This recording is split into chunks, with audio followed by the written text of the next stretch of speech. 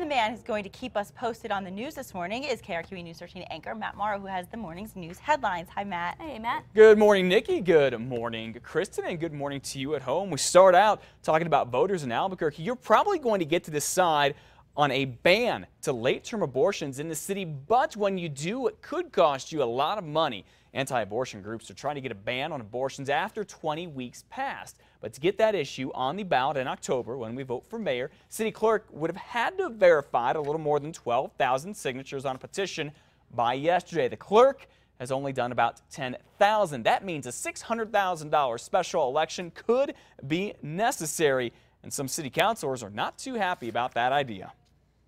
I'm not ready to spend that kind of money. I don't think that the citizens of this city are ready to spend that kind of money. It's a really hard, tedious process, and there's been some perception that we are delaying the process, but really they are, they're working so hard and they've done an excellent job. Okay, if the mayor's election goes to a runoff, which is possible, the abortion question could go on that. That would not cost the city any extra money. City Council also has the option of approving the ban on late-term abortions and not having anybody vote on it. We'll let you know what happens. Well, the polls in Rio Rancho are now open. That's where voters are going to answer an important question about their taxes. The ballot proposal would cut the special, special higher education tax in half. It's been used to support UNM's West Campus. It could go to support a new campus out there between CNM and UNM. But a Republican city councilor tells us if voters agree to the cut, he wants to use the money instead to beef up police and fire departments. The polls are open until 7 tonight. We'll let you know how that turns out. Well, we now know construction crews going to break ground on the huge I-25 Paseo makeover in just two and a half weeks. The State Department of Transportation says September 5th will be the official start date. It's the big Paseo I-25 project. DOT says 93 million bucks is going to be spent to redo. That's going to start with some pre-work, some of which is going on right now. This includes moving utilities and building drainage for the project. The DOT says this pre-work shouldn't affect your drive. Not yet, at least. Dirt will definitely fly, but they're not going to be impacted like they will later on in the project. We're going to make it very easy, easy into the project.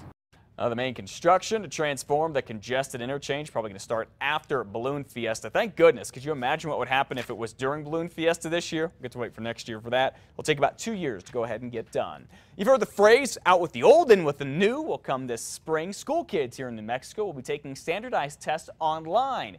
And in this digital age, you know, there's really no doubt that kids are going to be able to adjust. But the question this morning, are schools ready? Secretary of Public Education designate Hanna Skandera says schools need to have at least one computer for every five students. The goal is to have the schools across the state ready by March. So to get a better idea of which schools are already ready, the Public Education Department is launching an online tool and that goes live today.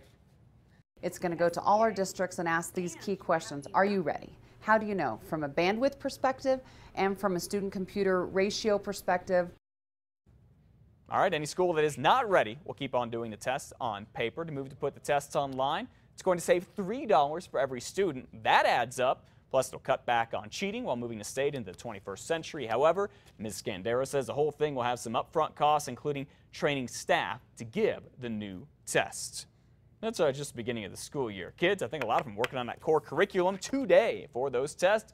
Make sure you get more news headlines every weekday morning, 4.30 to 7 with Kristen and myself on News 13.